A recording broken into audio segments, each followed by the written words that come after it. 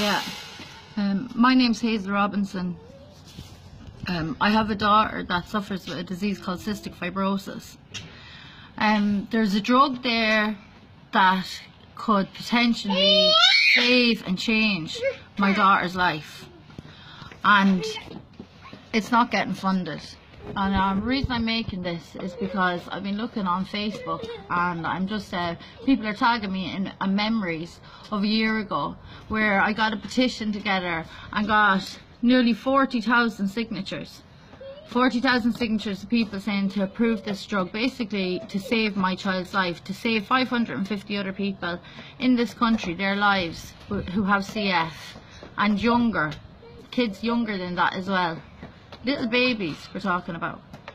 But instead of the drug being funded, what happened was, in the last year, my daughter has spent eight, nearly eight months of that whole time in hospital. In that space of that year, her little lungs have deteriorated so badly that now the doctors are telling us that we might need to go to Newcastle for her to get somebody else's lungs another little child has to die in order for somebody else to, for her to get lungs to live. Can you imagine if she had got that drug a year ago? Maybe we I wouldn't be having to have this discussion. But I tell you what, the reason why I'm making this is because I'm so bloody pissed off with this country. I don't know if you can see in the background there. That is where me and my two sons that's where we slept last night, on that.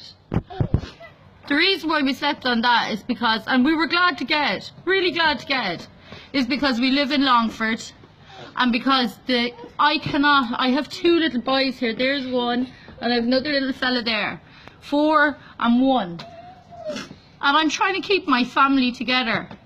I have to mind the boys, plus I have to be there for my daughter. And if she gets a few hours out of hospital every day, I can go over, get her, bring her out for a few hours and get her back.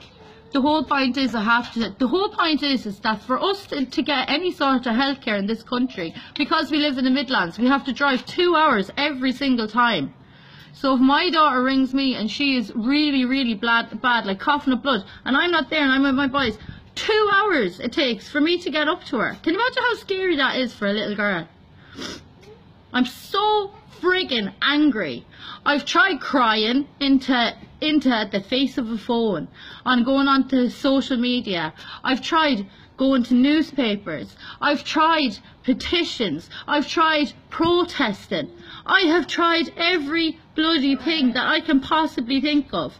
The only thing that the one I've tried emailing Simon Harris. The only thing now that we have is to talk into a face of a phone. RTE will not. RTE are scum. All CF patients, people with chronic illnesses, got out and protested on in front of Leinster House a couple of, um, the month before Christmas. Got on the news that night, a greyhound, a freaking fucking greyhound, got 10 minutes. CF patients, people with chronic illnesses, were out marching and they got, at the very end, they didn't even make that, the, the headlines on the RTE news that, that night. Is that not important? Are their lives not important? Now, uh, my suggestion is, because I'm so friggin' angry, and even at this stage, if we do get the bloody drug, the damage that's been done to my little girl's fucking lungs in the last year is irreversible. It's irreversible. And they're still telling us they're talking, they're talking, they're talking. We don't have time for all this bloody talking. I'm sick of talking. No, I my suggestion is the next demonstration or protest or whatever have you we go and we block off the ports. We block off the airport. Nothing comes in, nothing goes out. We're cribbing and crying over RTE. We don't want RTE. We want worldwide media. This is only one example of how our country is treating us so friggin' bad. Our kids bad. They do not give a shit about us. All they care about is their own self-worth and how much money they can make and how many, how much pensions they can get and how comfy their arses and their kids' arses and their grandkids' arses are going to be sitting for the next generation after generation. They don't give a crap about everyday people. They never have.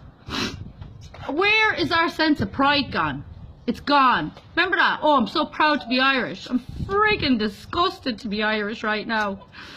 Disgusted. Why? Because I have my kids sleeping on that. I'm disgusted to be Irish, and I want our pride back.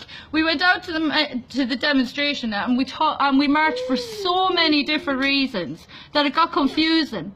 Now we need to be marching for one thing and one thing only, and that is to get and take our country back. Take our country back. Make it a place where we're proud to live again. A place where we're proud to be bloody Irish. What happened to that? I don't know. The only way to talk to anybody or to get anything out is through social media. And I just hope to God that people just get riled up and say they're sick of it. I can't be the only person who's so angry and so upset. Like, uh, do you know what I mean? Can we not just get together for one reason, one reason only? We want our country back and we're sick of being taken the friggin' piss out of. Please, please, just please, if I can ask for anything, the next time we do a demonstration or anything like that, when we're going to show our government exactly what we want, do you know what I mean? And make it bloody clear. Just please, please, just come out and support us because I don't know, like this is wrong. Like my little boys, look, look, my Tyler, look. What? What's that? Me. I know it's you. My little boy shouldn't have to be sleeping on that last night.